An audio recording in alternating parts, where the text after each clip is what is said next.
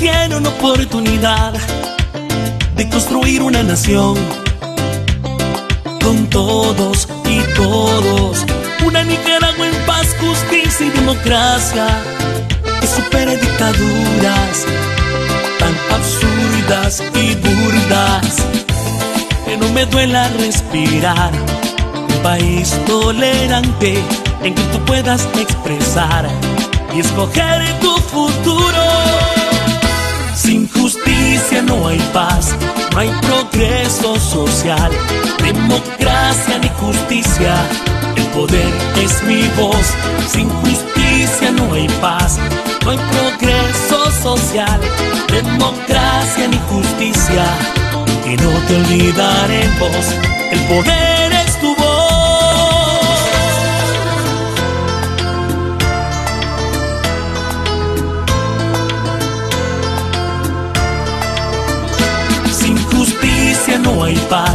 no hay progreso social, democracia ni justicia. El poder es mi voz, sin justicia no hay paz, no hay progreso social, democracia ni justicia. Y no te olvidaremos, el poder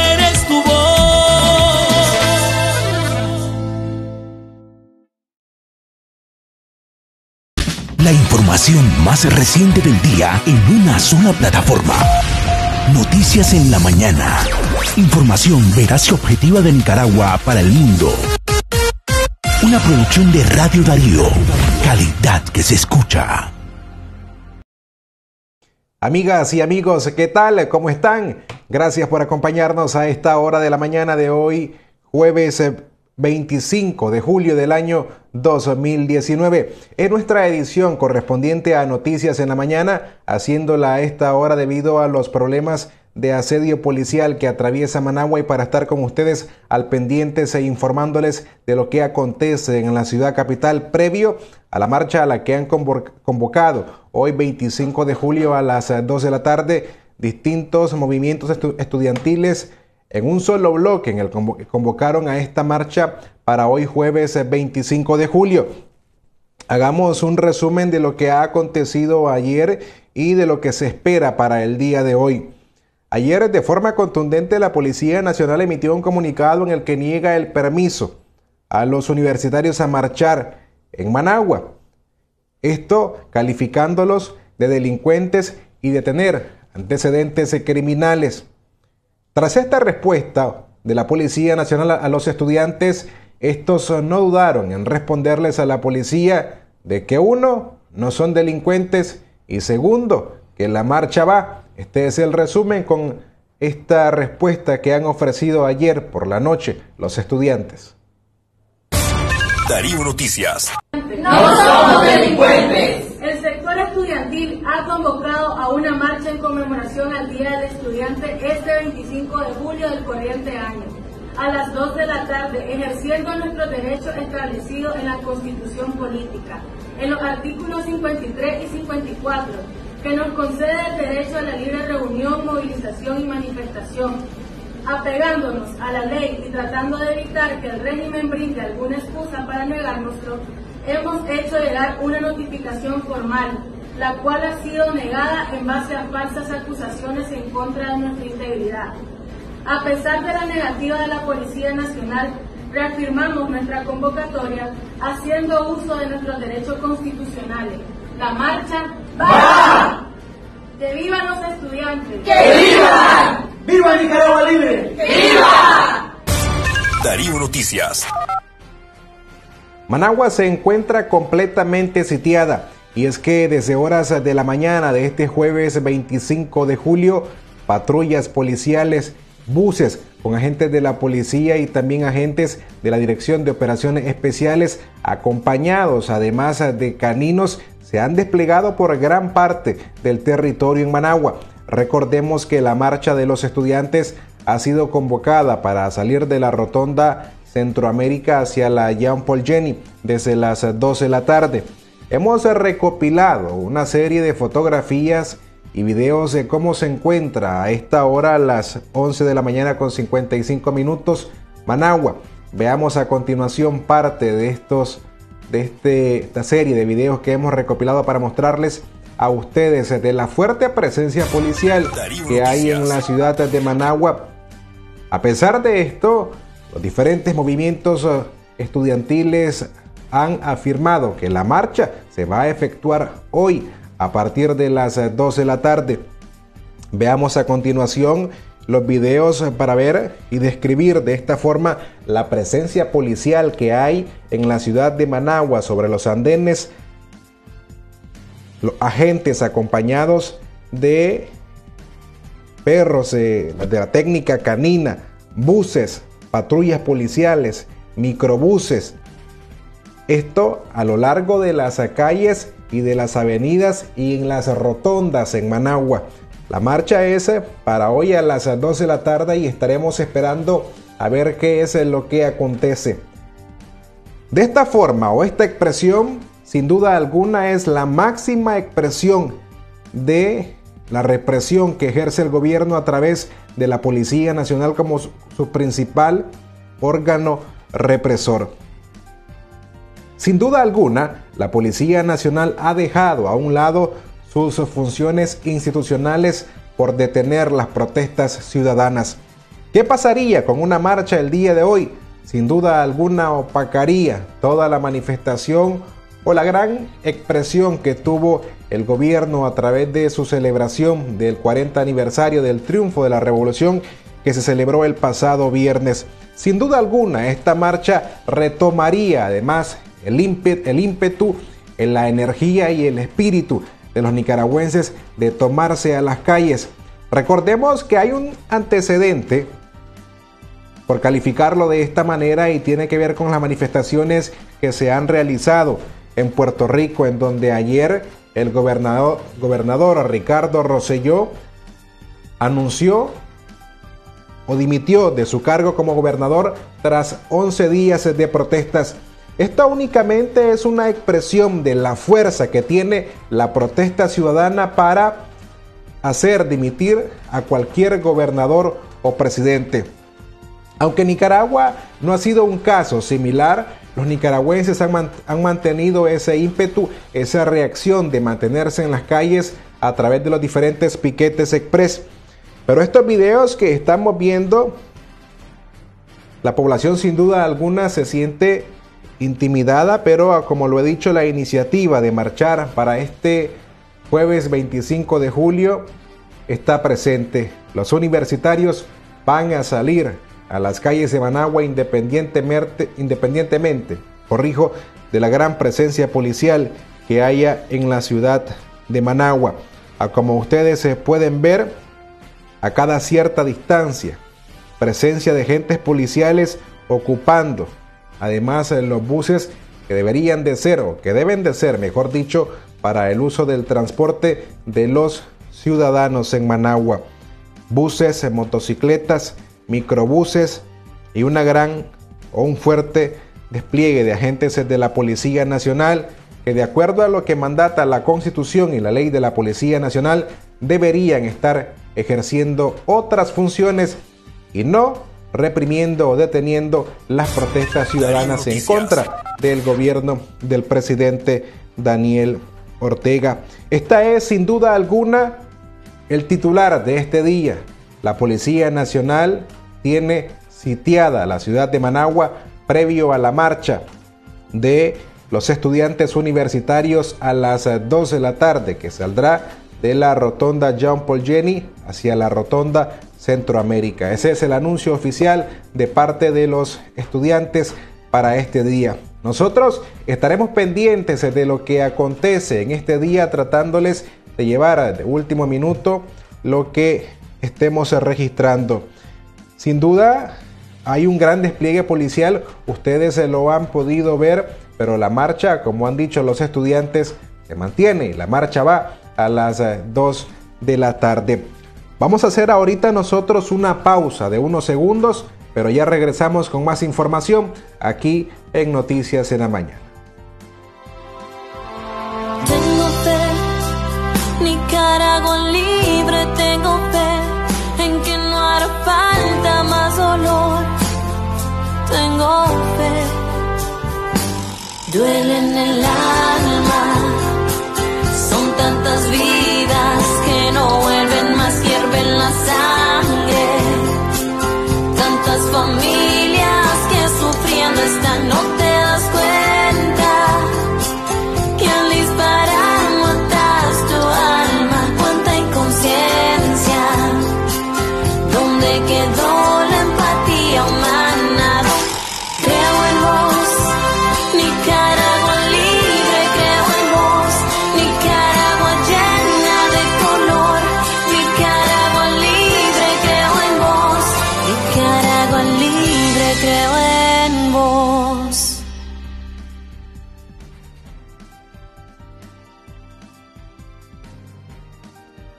Amigos, continuamos con las informaciones a esta hora, ya a las 12 del mediodía en punto. Siempre nuestro titular es la policía tiene sitiada la ciudad de Managua previo a la marcha que realizarán los estudiantes hoy a las 12 de la tarde. Todo este fuerte despliegue policial que hay en la ciudad de Matagua, Managua, perdón, tiene un gran costo. Un gran costo que sale de los impuestos de cada uno de nosotros los nicaragüenses, que debería de invertirse o utilizarse en otros programas o proyectos que el mismo gobierno tiene. Ya los organismos internacionales como la CIDH y la Oficina del Alto Comisionado de las Naciones Unidas han tomado nota y tienen conocimiento de lo que acontece en nuestro país, principalmente en Managua, que será el foco de atracción o de cobertura el día de hoy por la marcha a la que han convocado los estudiantes. Veamos qué ha dicho a través de su cuenta en Twitter la oficina del Alto Comisionado de las Naciones Unidas para los Derechos Humanos. El Twitter dice lo siguiente, ante la negativa de la policía de autorizar una marcha de hoy, el día de hoy, la oficina del Alto Comisionado de las Naciones Unidas para los Derechos Humanos insta a las autoridades de Nicaragua a asegurar los espacios para que personas se reúnan pacíficamente y expresen libremente sus opiniones garantizando su seguridad conforme a sus obligaciones. Repito el tuit, ante la negativa de la policía de autorizar una marcha el día de hoy, la oficina del Alto Comisionado de Naciones Unidas para los Derechos Humanos insta a las autoridades de Nicaragua a asegurar los espacios para que las personas se reúnan pacíficamente y expresen libremente sus opiniones garantizando su seguridad conforme a sus obligaciones. De igual forma, la Comisión Interamericana de Derechos Humanos también en su cuenta en Twitter ya ha tomado o tiene un registro de lo que acontece en Managua. Hace 58 minutos la CIDH o hace una hora prácticamente el mecanismo especial de seguimiento para Nicaragua de la CIDH toma conocimiento de un fuerte operativo de seguridad desplegado en Managua luego de que se confirmara la marcha de hoy y ante la prohibición de la Policía Nacional de esta actividad para conmemorar el Día del Estudiante y hace también una hora otro tuit de la CIDH llama nuevamente al Estado de Nicaragua a respetar el derecho a la protesta social, una de las formas de ejercer el derecho de reunión y de libertad de expresión. El Estado debe asegurar el derecho a la manifestación sin represalias. Así concluye este tuit de la Comisión Interamericana de Derechos Humanos. Por otra parte, ¿cuál debe ser la función de la Policía Nacional de acuerdo a la Constitución y a la ley misma de la Policía Nacional? Hemos entrevistado a Elvira Cuadra, quien se encuentra en Costa Rica.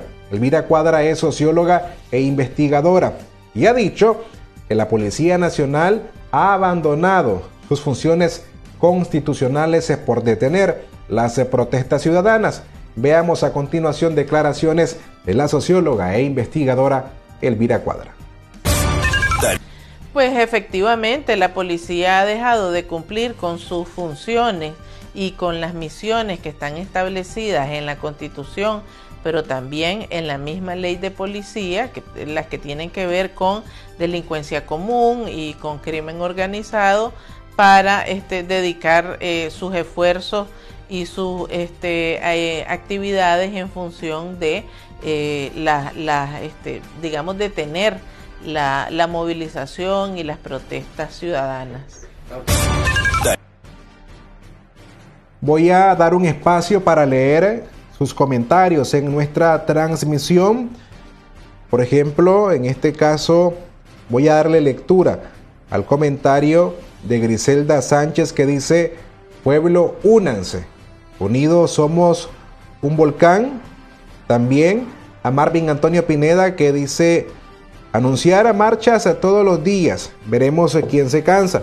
Por otra parte, María Dolores Palma bueno, dice, qué miedo, Dios mío, ante el asedio policial que hay en Managua.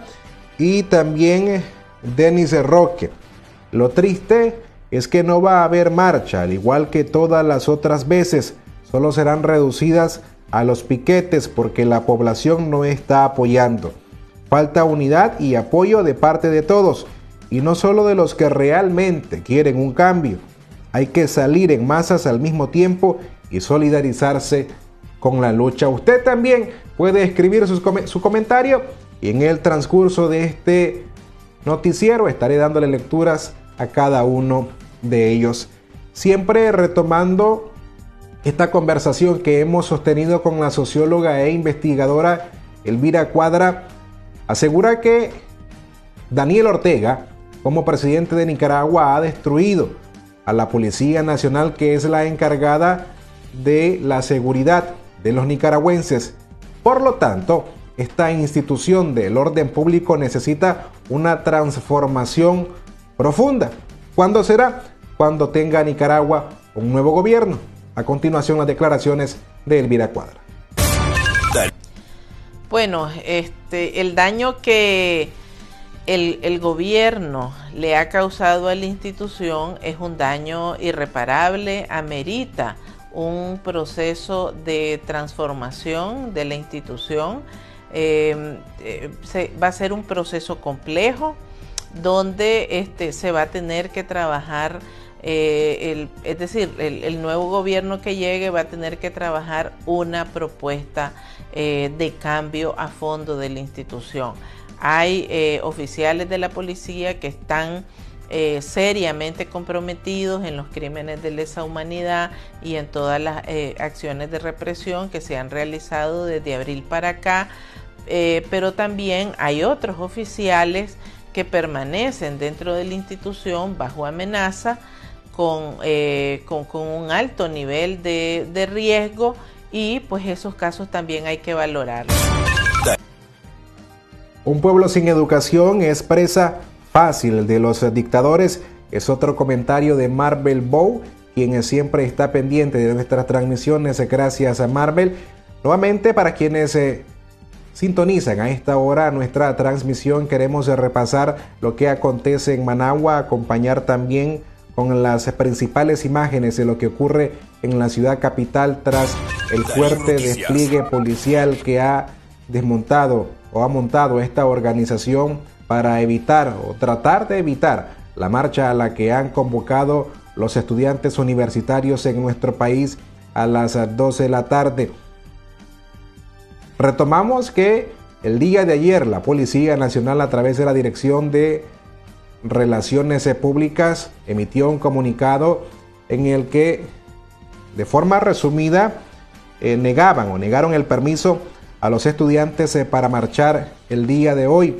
Una marcha que conmemora el Día del Estudiante en nuestro país. La policía negó el permiso y no solamente eso, calificó de criminales a quienes llegaron a solicitar este permiso, diciendo que estas personas tienen antecedentes eh, criminales.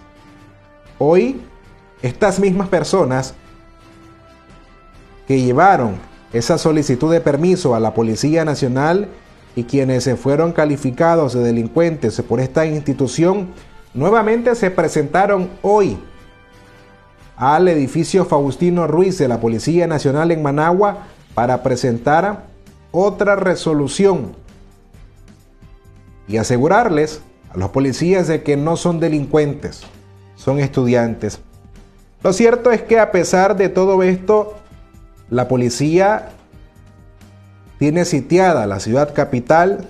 Vemos en las, en las imágenes presencia de policías, la técnica canina, agentes de la Dirección de Operaciones Especiales, toda Managua sitiada. Por donde usted te pueda pasar, hay una gran cantidad de policías. La pregunta es, ¿podrán hoy los estudiantes marchar a pesar de el asedio que hay en Managua? Lo veremos en el transcurso de la tarde. Lo cierto es que ahorita, independientemente de la presencia policial que hay en Managua y de las patrullas que se lograron estacionar frente al edificio Pelas en Managua para evitar que los trabajadores de este edificio salieran a realizar alguna manifestación o piquete express, a como se le llama, los trabajadores del edificio Pelas sí han salido a realizar un piquete express independientemente de la presencia de los policías. Seguramente en el transcurso de la tarde estaremos viendo réplicas de este tipo de manifestaciones en otros puntos de Managua de ciudadanos que sí están convencidos y que saldrán el día de hoy a marchar independientemente de la gran presencia policial que hay en la ciudad de Managua. Gracias a quienes están con nosotros a esta hora. Vamos a darle una pausa a este tema para continuar con las demás informaciones. Seguramente ayer ustedes vieron o leyeron, a lo mejor, declaraciones del jefe del ejército de Nicaragua, el general Julio César Avilés, quien además de haber negado que en nuestro país existan paramilitares, de forma bravucona respondió de que nadie les hará cambiar en sus decisiones y que ya sabe quiénes están detrás de todo este movimiento o las acusaciones en contra del ejército por tener un rol simple e inactivo y no desarmar a los grupos paramilitares que el año pasado ejecutaron la operación limpieza en nuestro país. Pero además, Julio César Avilés no responde de dónde salieron las armas que usaron estas personas encapuchadas que asesinaron al menos a 325 personas de acuerdo al informe oficial de la Comisión Interamericana de Derechos Humanos.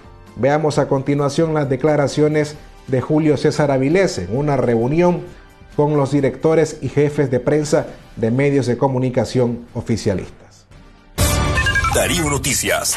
Tenemos contabilizado nosotros casi 200 ataques, inclusive a familiares. Y nosotros sabemos quiénes están detrás de eso. ¿Y saben qué? Esas presiones no van a hacer cambiar nuestras decisiones. Esas presiones no nos van a arrastrar por el camino equivocado en las decisiones que tomemos como institución. Aquí nos enmarcamos en lo que es la constitución y las leyes, más nada y no son aquellos que hacen opinión aquí pensando que el ejército de Nicaragua con sus opiniones se va a sentir presionado. No, no nos van a presionar nunca, jamás nos van a presionar. Nunca. Tengan la plena seguridad. No hay titular, no hay estado de opinión que valga, no hay redes sociales que valgan porque nosotros nos encontramos firmes en el cumplimiento de lo que está establecido en el marco de la Constitución y la ley. Más nada. Más nada. Y te agradezco la pregunta, porque no la tenía pensada responder, ganas tenía de decirlo desde hace rato. Darío Noticias. El general del ejército, Julio César Avilés, ha sido, en este caso, criticado por Dora María Telles, la ex comandante guerrillera y miembro activo de el partido miembro renovador sandinista, el MRS. ¿Por qué? Veamos lo que dice Dora María Telles en su cuenta en Twitter. Este análisis de acuerdo a Dora María Telles, dice lo siguiente. Lo que no explicó Julio César Avilés. Número uno. ¿Qué andaban haciendo oficiales de la inteligencia militar en la operación limpieza? Esa es la primera pregunta que debe responder el general Julio César Avilés. Número 2. ¿De dónde salieron las armas de guerra, lanzacohetes y ametralladoras que andaban los paramilitares? Está obligado a, a responder, pues le pagan de nuestros impuestos, dice Dora María Telles y continúa en este hilo de este tuit con lo siguiente, y que se guarden las amenazas de que ya sabe quiénes están detrás de la campaña en contra del ejército. Quien está detrás de esa campaña es el mismo, que no ha cumplido con el mandato constitucional y ciudadano. Lo cierto es que tras estas afirmaciones de Julio César Avilés, hay más preguntas que debe de responder al pueblo de Nicaragua y la principal es de dónde salieron las armas que utilizaron los grupos paramilitares. También sobre este mismo tema o en nuestro contexto en Nicaragua, ¿por qué Daniel Ortega le teme a las manifestaciones? ¿Cuál es el poder que tienen las manifestaciones en cada país? A continuación vamos a ver un análisis de Eliseo Núñez, quien fue diputado y ahora analista político, de él por qué el presidente de Nicaragua, Daniel Ortega, le teme a las manifestaciones. Veamos. O al dejar a la alianza fuera como interlocutor, él apuesta a generar una división dentro de la oposición. Mira, lo primero que hay que hacer es organizarse y eso, eh, aunque parezca fácil y se diga fácil, eh, tiene su proceso. Aquí eh, los autoconvocados, la expresión espontánea, fue una expresión que Ortega logró empujarla a punta de bala simplemente porque la coordinación era muy incipiente. Entonces ahora hay que trabajar en la coordinación de eso. Y Ortega va a saber que ese es lo que le hace daño, lo cual significa que va a tratar de impedir la coordinación de todos los movimientos por parte de Ortega le tiene horror que la gente salga a manifestarse. Ortega cree de que, de que si la gente vuelve a la calle lo que va a ir a buscar es como votarlo. Y es probable que tenga razón, porque la gente aquí ya está harta de él. Eh, entonces, y, lo único que tiene que ofrecer es eso, eh, el tener a la gente en sus casas. Pero en el momento que la gente se organice y encuentre una salida de corto plazo para salir de Ortega, valga la redundancia, Ortega no va a poder detener ni con toda su policía a la gente en las calles. Ayer Puerto Rico, a medianoche, recibió una excelente noticia y fue la renuncia del gobernador Ricardo Rosselló, un político que se ha visto, en este caso, involucrado en actos de corrupción, pero lo último ha sido todos los chats filtrados desde la aplicación Telegram, en donde se descubrieron mensajes misógenos, homofóbicos en contra de la población y contra artistas reconocidos en Puerto Rico. Lo cierto es que el gobernador ayer a medianoche anunció que dimitirá de su cargo el próximo 12 de agosto. Veamos el anuncio oficial y por qué es importante esta noticia. Por el poder que tienen las manifestaciones tras 11 días de protestas en Puerto Rico, el gobernador se vio obligado a renunciar. A pesar de contar con el mandato del pueblo que democráticamente me eligió, hoy siento que continuar en esta posición representa una dificultad para que el éxito alcanzado perdure. Luego de escuchar el reclamo, hablar con mi familia, pensar en mis hijos y en oración he tomado la siguiente decisión. Con desprendimiento, hoy les anuncio que estaré renunciando al puesto del gobernador efectivo el viernes 2 de agosto del 2019 a las 5 de la tarde. Estos días estaré atendiendo asuntos pendientes que viabilicen una transición ordenada. A esa hora culminaré mi mandato y daré paso al proceso de sucesión establecido por nuestra Constitución para juramentar a quien en ese momento corresponda completar el proyecto trazado para este cuatrienio. La persona que asuma el peso de la oficina que he tenido el honor y privilegio de ocupar necesitará la voluntad ciudadana y el apoyo de aquellas personas que trabajan incansablemente en pro de nuestra tierra. En estos momentos, de acuerdo con el ordenamiento jurídico, esa persona sería la actual secretaria del Departamento de Justicia, la licenciada Wanda Vázquez. Tras la renuncia de Ricardo Rosselló, así celebró Puerto Rico. Veamos. Darío Noticias.